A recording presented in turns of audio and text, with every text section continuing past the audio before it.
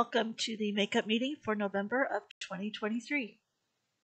So I know that we are past November in getting this uh, makeup meeting up, uh, but I do have one accident video that I want to show you. We had several in November, but I'm not going to go back and rehash all of those. We've talked about those in some of our other safety meetings. Uh, we had an accident with the van in November, um, and I want to show this to you uh, to be aware of number one, uh, where you're driving in the yard uh, and your speed in the yard. So um, the van driver was exiting the yard, coming around the bend towards the back. Uh, and if you look at the bottom of the video, go, you might have to watch it a couple of times. You'll see that it lists the speed. Driver was going 35 miles an hour uh, on that back stretch. I know it is easy to speed when we get into that back stretch of the yard. And as you all know, uh, speed limit for buses in the yard is five miles up by the building, 10 miles uh, when you get down closer to the west gate. Uh, same thing for our vans. Uh, 35 in the yard is completely unacceptable. Um, but the driver also uh, struck a tree branch before driving down into the ditch clear back at that back corner of the yard. So I want you to watch the video uh, and then we'll talk a little bit about it.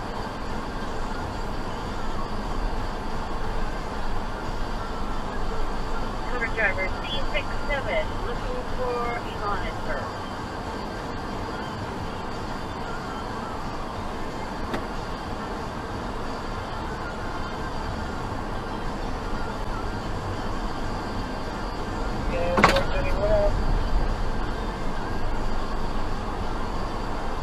Are you in five minute parking? No, but I can get there. Yes. That's where we set the monitor.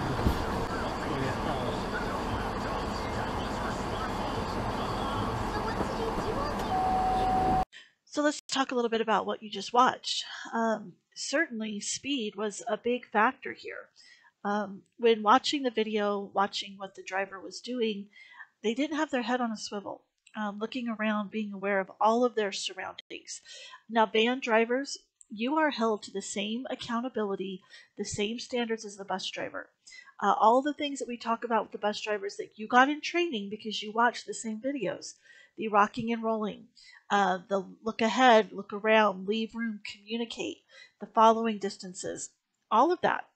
You're held to that same standard and expectation. And so going this speed in the yard and not being aware of your surroundings, not um, you know using those triple LCs is unacceptable. Um, so yes, no matter what vehicle you're driving, even if you're driving your personal vehicle leaving the yard, you need to adhere to the speed limits and you need to be looking around, especially when you're your personal vehicle leaving the yard. Sometimes because the our personal vehicle is such a familiar place, we tend to let bad habits creep in and bad things. We're not really paying attention, um, going too fast, on the phone, eating, uh, all the things that you wouldn't do in a bus, shouldn't be doing in a bus, is happening in your personal vehicle because it's familiarity, it's comfort, uh, it's comfortable surroundings. That doesn't mean that it's right. It's still just as unsafe as if you were in a bus. Um, so whenever you are in any any vehicle, watch your speed in the yard first and foremost. When you're up here by the office building and the shop, the fuel area, five miles an hour. Okay, we have people walking. We have people crossing the parking lot going to their personal vehicles, people crossing to go out to the smoking area. Uh, we have drivers crossing the bridge to go to their buses. You have drivers fueling, moving about. We have mechanics, we have staff, we have training going on. We have an off-site tester who comes in and uses our facility. facility. There's a lot of movement up here at the front of the yard. And so keep that speed down when you are on the back side of the yard, getting to the west gate, getting to the bottom of the uh, parking lanes. 10 miles an hour is you can get up to 10. And if you having a hard time keeping it down there, drop your bus into first gear. That will force you uh, to go really slow. And you know, and please make sure that when you're in the parking lanes, never, never backing down the lane. If you park close down to the west gate entrance, you do not back up on the road to go. You have to go forward and exit the way everybody does. Um, let's not get lazy in what we're doing. So our focus for the month of November was slips, trips, and falls. A very timely subject now that we're getting into the colder months and we have had some snow and ice. So let's talk about being aware of slips, trips, and falls. So our goals and objectives for this training is to be aware of slips, trips, and falls, what causes them, areas where they can happen, and to understand ways to prevent them. So this statistic on this slide is from 2018, but I will tell you when I go back and I look at, at all of our injuries from uh, the past couple of years since I've been in this position, the majority of personal injuries are due to slips, trips, and falls, tripping over rugs, slipping on ice. Um, we've had monitors uh, injured while the, because they're moving around while the bus is moving, which is categorized as a slip, trip, and fall.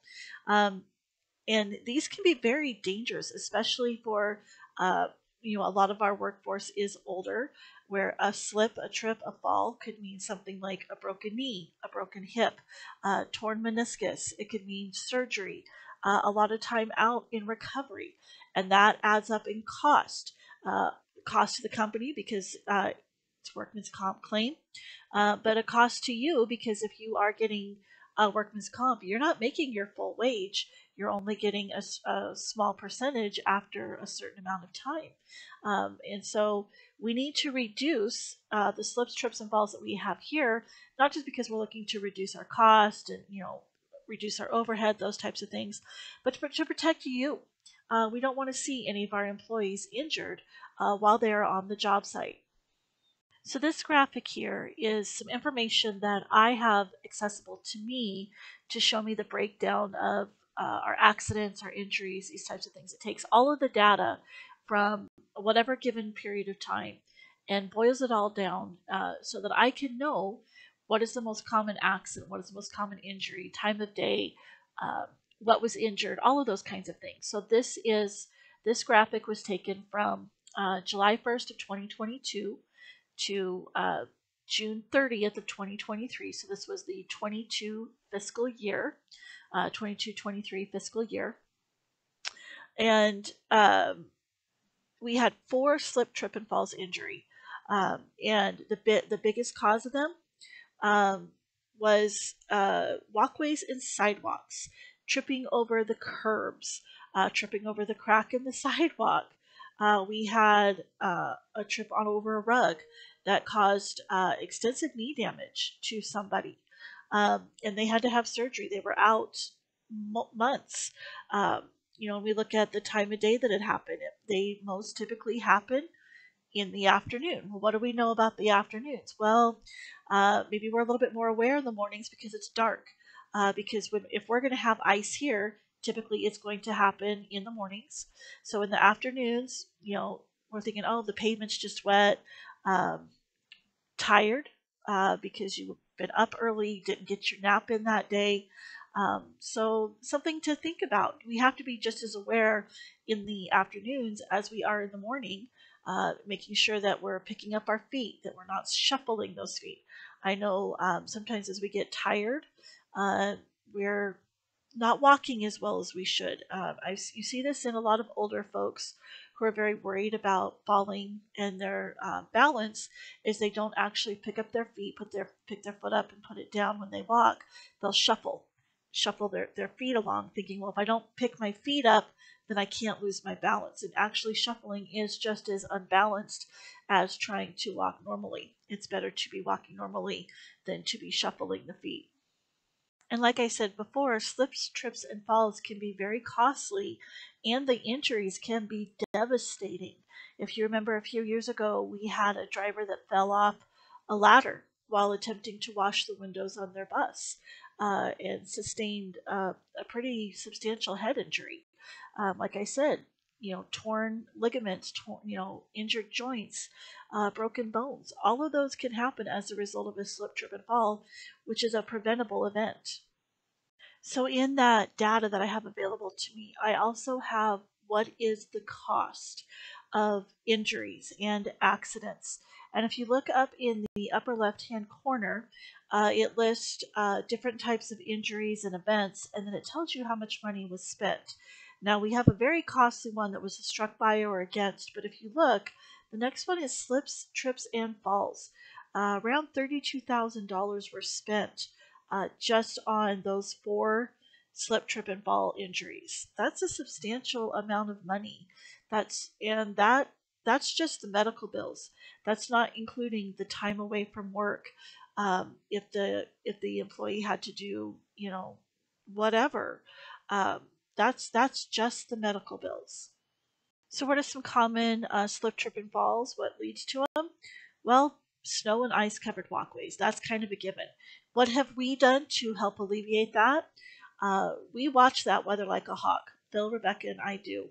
And when we know that there's going to be icy conditions, um, so when we leave in the PM, um, I'm typically the last one here, and I'm taking note: is it wet? Uh, do we need to get out and get it salted the night before? Uh, or we're always watching to see: are we expecting precipitation through the night? Um, and then we have people that come in early and they get out and they they put the ice melt down on the sidewalks and walkways.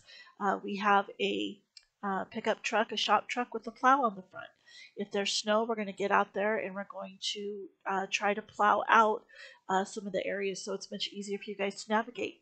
We have our ice cleat policy. We're going to talk a little bit about that. So when the, the orange flag's out on the gate, you need to be wearing, you are required actually to wear those ice cleats when you walk from your car into the building and from the building out to your bus. Now, we don't wear the ice cleats in the building. We did have a slip, trip, and fall um, accident where the employee was wearing their ice cleats in the building. Uh, if they don't have anything to grab onto, then they're slick. They're. They're designed to be for ice, so it can grab, you know, grip into that. So, uh, what else can cause a slip, trip, and fall? Liquids on a surface. Um, somebody, you know, the toilet overflowed in the bathroom, or uh, those times when we have uh, snow on our the bottom of our shoes. We come in and there leaves puddles on the floor. Um, that can be slick. Uh, you'll notice that when our janitorial staff is here and they mop the floors up, they put up the yellow signs. They want you to be aware that the floor potentially could be slippery. Um, any debris, such as um, you know cords left down. If you remember back to when we used to plug in our buses when the weather was cold, or weather was cold, uh, that was a big trip hazard around all of the buses. You're doing your pre trip, and it was real easy to get your feet tangled up in those cords that were laying on the ground. Thankfully, now with cold start and you following the cold start procedures, the wait to start on your bus, we don't have to have those drop cords out. So we've, we've helped to eliminate one of the trip hazards. Uh, uneven surfaces such as potholes. I mean, that is our whole bus parking area quite frankly. It is uneven. Even if you're not walking around the potholes because of the material that it is, uh, it's road mix that's been ground up, put down. Uh, it's not compacted down very well. There can be rocks that you could trip on. There could be small holes that are starting to develop. Uh, so you have to be aware of those. Poor visibility. Um, you know, here it is. This is during Christmas break when I'm filming this and we've had lots of fog. We have we're into well into our inversion time, um, and so you just don't see what's coming up ahead. You don't see that little uh, ice puddle there. You know that was it's a puddle during the day, but in the mornings it's ice. You might not see it because of poor visibility. Climbing up on ladders and steps, you should not be doing. I mean, no ladders. Okay, we took away the ladders from the fuel pumps. Um, you do have steps getting up onto your bus, but one of the things that I've heard some of you do, and I've seen, and I've talked to you about, is when you're trying to wash your windows, you pull down that little step on the side of the bus, and you're stepping up on that. Don't be doing that, okay? Um, the squeegees have long handles on them. Um, you know, the buses get washed on a somewhat regular basis when it's not too cold outside. Do not be using this or, or bringing in a step ladder to use either. Uh, loose mats or rugs. Now we have very low profile rugs with grippy surfaces on them that are maintained for us by a professional company. Um, but you know, if there was like other loose rugs laying about, that's why we, we don't want you bringing in, you know, cute little decorative rugs and those kinds of things. But be aware of those in your home. Um, if you have throw rugs, I have a rug in my laundry room and the back of it was not gripping the floor very well. And so I went to Walmart and you can get uh, rug gripper mats, and it's it's kind of a rubbery material. And I put it down on the floor, and it grips the tile, and then it grips the back of the uh, rug. And now I'm not ice skating every time I go into my laundry room. So uh, there are things that you can do to help uh, mitigate some of these risks. So what are some other areas that we encounter around here that could potentially be a hazard uh, or the possibility of a slip, trip, or fall injury? Uh, we talked about the parking lot, the potholes, and unseen things. How about um, the vegetation areas? We want you to walk on the sidewalks. So when you come out of the building, that that door that goes out to where the buses are, you all know which door I'm talking about. Um, there's a little corner that people tend to cut, and they step down into the rocks, or they're walking over on the grass. Um, that's an uneven surface, especially when you go from a hardened uh, flat surface like the sidewalk to an uneven bumpy surface or that, that lip between the two surfaces or surfaces. That's a trip hazard, and we've had people injured there. Um, if you ever, if you're new here and you wonder why I have that big orange uh, fenced off area over by the buses, it was because we had a big old slip, trip, and fall injury there. Uh, people were cutting across the dirt there, and in that dirt is a lot of embedded rocks. And somebody tripped and fell and broke their nose, um, and couldn't get people to stop cutting across there. So put up the corral, call it Keys Corral. So um, yeah, um, other areas that that could be a problem: getting in and out of your vehicle. Um, especially if you're supposed to have your ice cleats on and you don't have them on. Um, you know, we've got um, transitions between uh, tile floor and carpeted floor. Um, sometimes you're just, you know, you're not being aware of the difference in the surfaces. Uh, maybe your shoes are worn down. Um, you know, just like you want to have good tread on your tires, you should have good tread on your shoes, and you should be wearing good shoes, not Crocs. Okay, if I see Crocs, I'm going to tell you no. Okay, not only are they incredibly ugly, they have no tread on the bottom. They're incredibly slick. I don't care how comfortable they are. Get you a nice good pair of Hey Dudes or Skechers shoes and and get some some uh, tread on those soles. And if you've got tennis shoes you've been wearing for like the last 10 or 15 years, they get worn down based upon your walking patterns. And that's an uneven surface that you're walking on all the time too. So you need to have good tread on your shoes. Um, you know, think about the kitchen. Uh, somebody could spill, you know, we have the ice machine, and I try and keep a mat down around the ice machine, but sometimes ice gets out there, and now you've got little puddles on the floor, or somebody drops food on the floor. Um, I mean, there's there's all sorts of potential for slip, trip, and falls injuries. You have to be aware at all times. So now that we've identified how they happen in areas where they can happen, where you might encounter them, let's talk about protecting yourself. Uh, clean up any spills. Uh, all, we've all seen the signs. Your mother doesn't work here. Um, I'm not your maid. Uh, we have to take responsibility for ourselves. Clean up after yourself. Throw your trash away. Wipe up your spills. You know, try not to spill stuff on the floor, especially liquids. And clean up if you do. Um, make sure if you're using any equipment like a ladder, for some reason you've been given a ladder to use, inspect it. Um, make sure that it is in good condition. Uh, that you shouldn't be using any rickety ladders, you know, loose rungs, uh, the hinges are loose, anything like that. Uh, you know, inspect it, look at it, do a pre-trip inspection of the ladder. The 30 seconds that you take may save you thousands and thousands and thousands in medical bills and pain and suffering. Um, don't carry things that obstruct your vision. Um, you know, especially if you help out in the office, maybe you've been sent to go get a box of paper or something.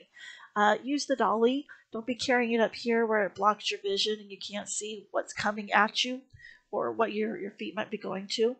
Don't be jumping down from ladders and equipment. Stay off of those little steps on the side of the bus.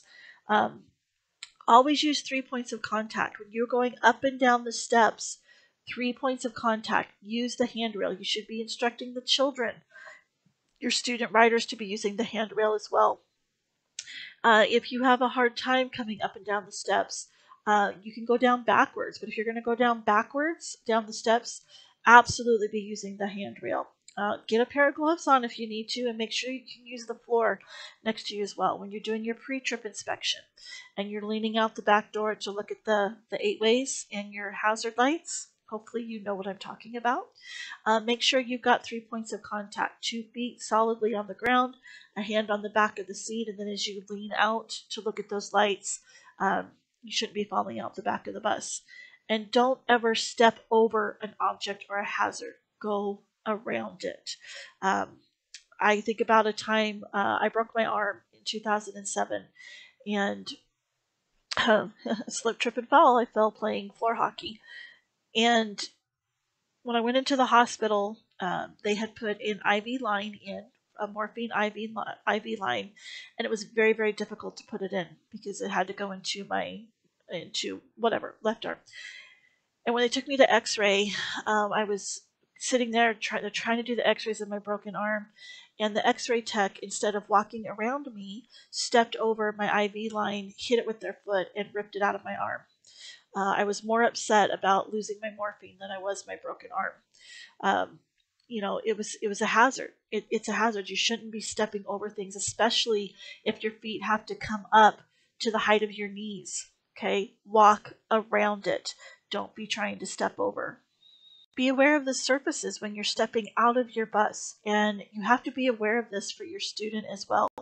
Uh, you all remember the morning that we had here where it was so icy and slick. We had the buses that were stuck in the bus loop at Owyhee for 45 minutes. Well, what also we saw is the schools hadn't gotten out and put ice melt down in the areas where the buses unload and multiple students falling and being injured because of ice. You know, kids don't think about stuff like that. They're just they're ready to move on with their day and they just jump off of that bus and boom, down they go. You need to be aware of what you're stepping down to when you get off of your bus, especially with our uneven parking lot. Now, if you have your area, your parking spot marked and you're parking in the same place all the time, maybe you've got a mat down there. That's a good way to you know, to know, hey, I'm in the right spot. Uh, you can help avoid some of those potholes or everything. But look, before you step down, look and see what's down at the bottom of those steps before you step on it. Um, there could be snow or ice or, or whatever, especially if there's snow. Snow can be covering up ice underneath it. When you're doing your pre trip inspection on your bus, not only are we looking for hazards and defects on the bus, you know, we've talked about being aware of what's around your bus for backing uh, for walking, all of those types of things. You know, there's there's so much that we have to be aware of, uh, and it really is to protect you, uh, not just you know making sure that you're following all of the rules or because I'm being a tyrant or something like that, tyrant, whatever. Um, but but continue to look for hazards. Be aware of those, um, and and do it for selfish reasons because I don't want to fall and break a hip. I don't want to. I don't want to tear my meniscus or my ACL or my rotator cuff uh, very painful things. So, so do this for selfish reasons to protect yourself. Be deliberate in your movements. Um, we get we get in a hurry, especially if you're running late, uh, and the, sometimes it can be, you know, you're kind of very very fast walking or running out to your bus. Don't do that. Be deliberate in your movements. If you're running late, stay late. Again, Think of those selfish reasons. I'm doing this to protect myself. I don't want to fall. I don't want to injure myself. When things get cold and icy and your path looks kind of dicey, waddle on. Keep your toes all pointy, pointed outy. Keep your knees all loosey goosey. Waddle on. Keep your hands outside your pockets. Take short steps so you don't rock it. Waddle on. Take it slowly, holy moly, so you don't fall down and rolly. Waddle on. Make sure that you use the PPE that's been provided to you, the ice cleats, the dreaded ice cleats.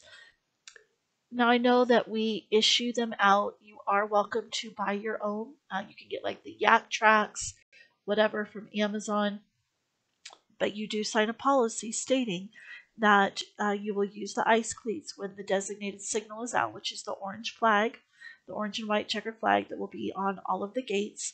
Um, use those when that flag is out. Uh, we've had employees that were holding their ice cleats in their hand, fell, uh, and injured their back to the point of they can no longer drive a bus anymore. Um, but the, the thing that they needed that could have prevented that injury, they, they held in their hand uh, and they were kind of being a smart aleck about it. Um, didn't want to put them on, but held them just because you know they'd signed a policy or whatever. Um, that's that's the worst kind of injury. You know, um, if it's dark, use a flashlight. Uh, you have a flashlight out on your bus anyway. Uh, maybe put that in your pocket or carry a backpack. You can get uh, little flashlights from Walmart for a dollar. Uh, very inexpensive. Um, I keep one here in my desk drawer. Looks like this. They're nice and bright. Use that when you're walking out to the bus. Uh, light the pathway in front of you when it's dark. Um, make sure we talked about your shoes, making sure you have good slip resistant soles with good traction. No Crocs, okay? No Crocs. Um, take care of yourself, okay? I don't want to see anybody here suffer some type of injury that could be permanent or lifelong. Uh, you know, we, we can work together to reduce our slips, trips, and falls. And if you see a hazard, come report it to me to Rebecca, to Phil, to dispatch, write it up. Uh, when you got hired on, you did sign a paper saying that you have the right to notify management of a safety hazard and that there is no retaliation against you for doing that. I'm not going to retaliate or get mad at you because you come in and report to me that there's maybe a worn rug with a with a cut on it that's a trip hazard or or the sidewalk starting to get lifted. Um, I appreciate those kinds of things. Maybe you're seeing something that that I'm not. Uh, be sure to report it. If you see something, say something.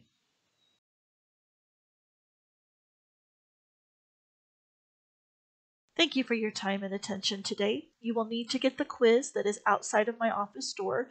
Uh, you will get credit and get paid for the safety meeting when you turn that quiz in, and if you have passed it with at least an 80%. Now, if you went to the in person meetings, you do not need to take a quiz and turn it in. Maybe you're just bored and you decided to watch my makeup safety video. Uh, hey, you do you, boo.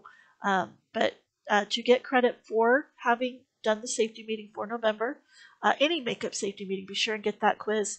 And if you have any questions, come talk to me.